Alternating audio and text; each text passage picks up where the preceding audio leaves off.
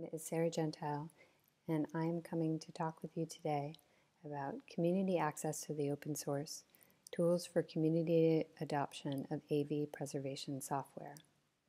Thanks for the opportunity to speak and all the other excellent talks at this conference. I've learned so much from previous No Time to Waits, and I'm excited to be part of this conversation. I come to you from the Museum of Modern Art where I work in the Conservation Department.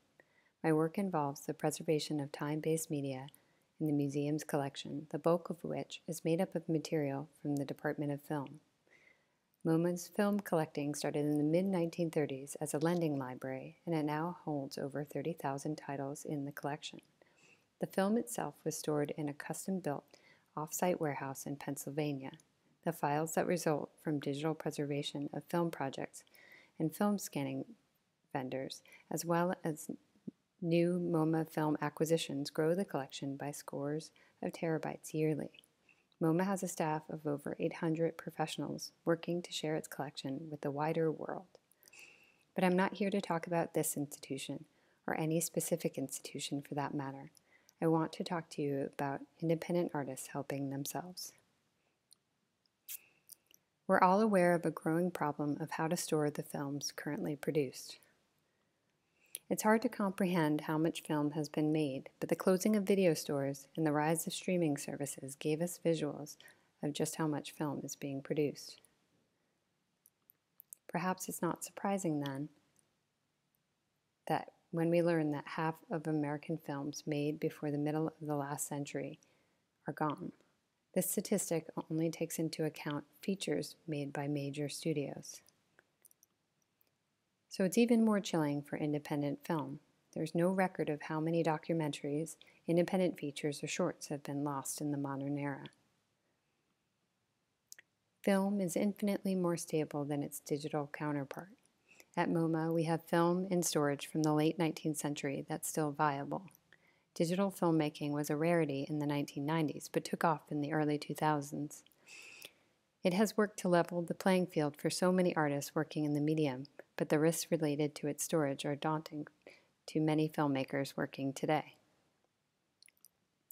In order to better understand this problem with a small subset of my community, I set out to do an informal survey of current filmmaking preservation practice.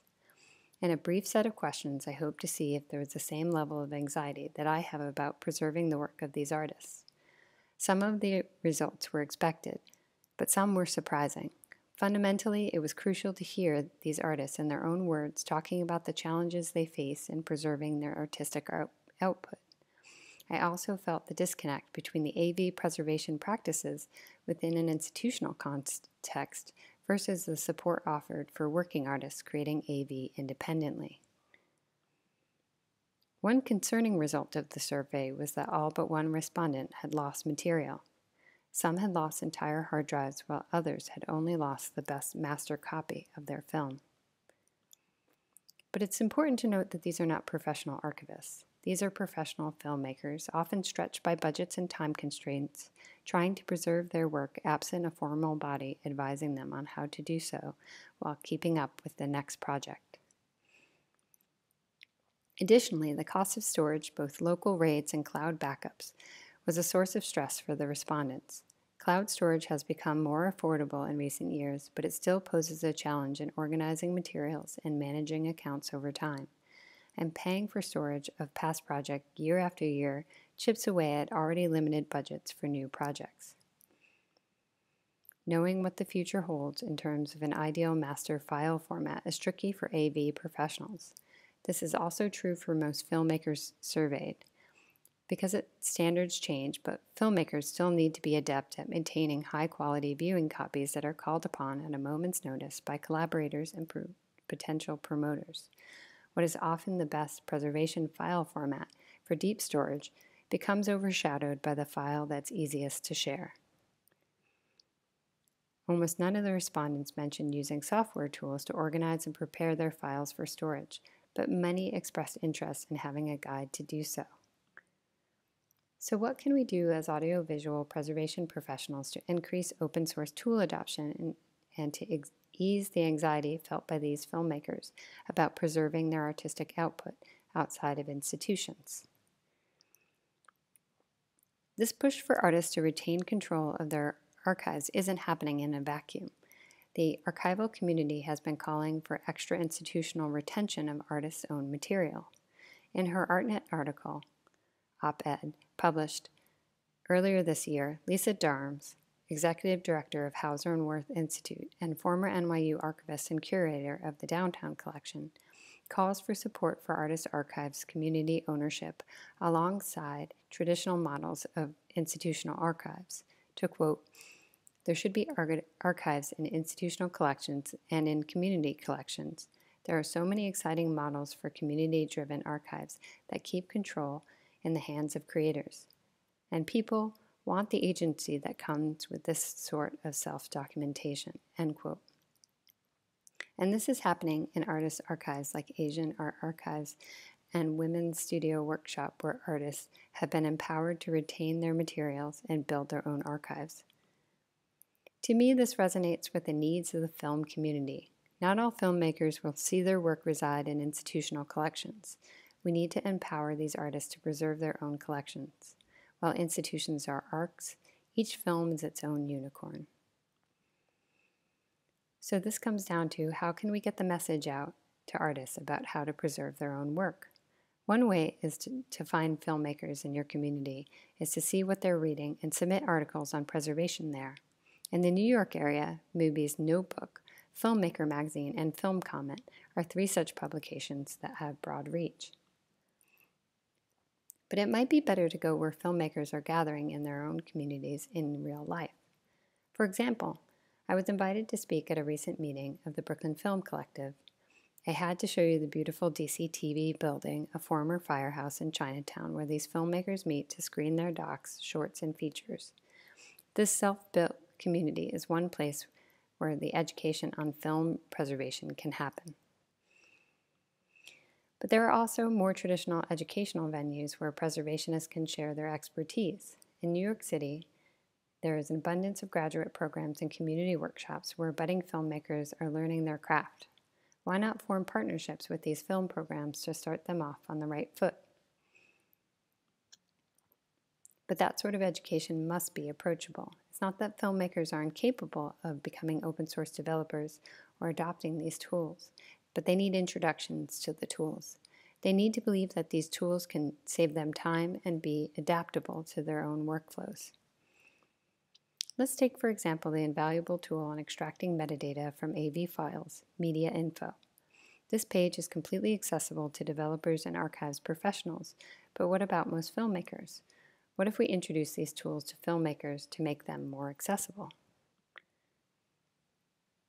We can explain these tools better and show how they can be easily implemented to get the information they need to preserve film. I think one of the best ways to explain how metadata is useful is by pointing out that filmmakers already use it constantly when they are creating derivatives of their own work to share and screen. Making it clear that they don't need to open proprietary software to reveal this information to identify older files can help filmmakers manage their own collections. And while large institutions like MoMA and BFI, for example, have been using RAWcooked to decrease their storage footprint of their film scans and make moving files easier and safer, few individual filmmakers know this tool's incredible value. A dialogue about its key features and a targeted introduction would go a long way towards tool adoption. While most current independent filmmakers aren't shooting on film, a lot of them have student work or shorts that use film. The knowledge of this tool for individual working filmmakers is rare, but the benefits in terms of storage cost reductions and file management have a great potential to help working artists. So many filmmakers are working with professional proprietary software suites like Adobe Cloud and Avid, it's helpful to remind filmmakers that they have access to a free tool that has a lot of file format options for editing sound files. Audacity is a tool that has an accessible website that encourages non developers to download and use their tool, but filmmakers may still need to be reminded that it's freely available and relatively easy to use. And with video, it's great if filmmakers know that there are open source tools that can make older files accessible, even if they get error messages in proprietary software programs. Handbrake and VLC have saved me time and frustration many a time and for free, and they're great tools to share with the community. The fact that both of these are free and open source tools and have a GUI helps to make them more approachable to the non preservation community as well. And while the concept of an OAIS model for storage might be a little over the top for individuals trying to maintain their own archives of materials, talking about the benefits of packaging files for storage with file fixity can really help filmmakers sharing their work online and preserving it for the future. Showing filmmakers how to bag how a bag is structured and what its components are can go a long way towards the adoption of the tool for storage. If, if that seems all too time consuming and heavy, just explaining checksums and talking with filmmakers about how to use checksums to verify file integrity is one way to ensure that they have the tools they need to create their own collections. As AV, AV professionals who care about these filmmakers and their work, we can contribute our time and money to the cause. I want to echo the call from Peter's talk in No Time to Wait 3, Open Source and Long Term, that we must value free and open source software with the promotion and technical support of these tools. And also a big thanks to Derek's opening the open source during No Time to Wait 4 for how to emphasize um, Open source tool users can and should be contributing to the open source community. Additionally, planning these conferences takes work, and you can be more active as a No Time to Wait conference volunteer. We can also contribute financially by attending No Time to Wait and paying the voluntary registration fee. And if our institutions have benefited from the tools, we can show our gratitude and support to the open source community by buying a RAWcooked key, even as a tribute, if an annual supporter designation is not something you and your institution want to commit to. I want to thank Dr. Trevor Owens for his talk in 2021, Caring for Digital Collections and the Anthropocene, for bringing technological solutionism to my attention. The idea that we can preserve filmmakers' art without a human side is folly. And so much of, of, this work is about maintenance, and not just of file formats, but of relationships. I am thinking of the excellent 2018 essay, Maintenance and Care by Shannon Mattern, that spells out how much of this work in the world and in the greater world is the opposite of technological solutions. We have to feel empowered to build those connections, to look beyond our profession and our institutions, to lend our expertise to the community and listen to the needs of professionals in our local communities. To that end, we can join up with community and local efforts to preserve media that may already exist near us. Even if we can't commit our time to these organizations, we can raise awareness of them. But we can also do the reverse. I mean, obviously, I'm contradicting myself, but we need to bring these films and collections back to the wider international community to see the broad scope of the work already being done globally to preserve our AV heritage. And everyone here is already doing that by being part of No Time to Wait. In short, we need to act as guides and allies to the artist communities. We have to help creators help themselves. Not every film will become part of an institutional archives, but we do a lot at scale that's deeply important to the preservation of audiovisual heritage. Digital democratized filmmaking in a way that made independent filmmakers have to act like studios. Filmmakers need our skills to feel empowered to preserve their work for the future. We have the skills to share with our communities, and encouraging open source tool adoption is one way we can better fight the battle for indie filmmaking. My profound thanks to the following people who helped me build on this idea and share it with the community, and to the creative community for sharing their images through Creative Commons license. The end. Thank you.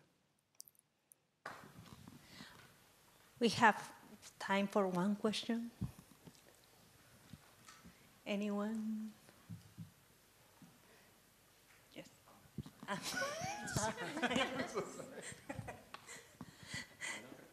I'm sorry. Hi. Uh, thank you for this nice uh, presentation. Uh, you were listing hash codes, and I was just wondering um, if you know about xxHash, because you're speaking about film, and it would be speedwise faster.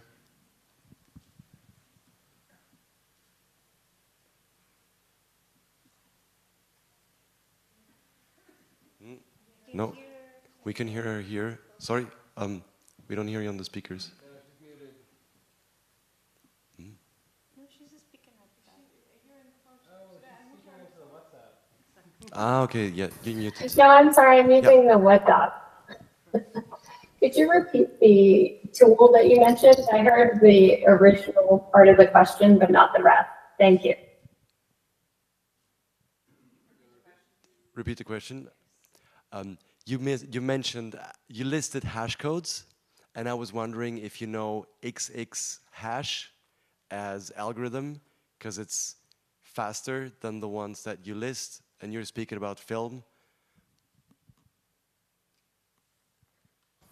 No, thanks for the suggestion. Check it out. Awesome. Okay, thank you. Well, thank you very much. Thank you, Sarah. That was very nice. Um,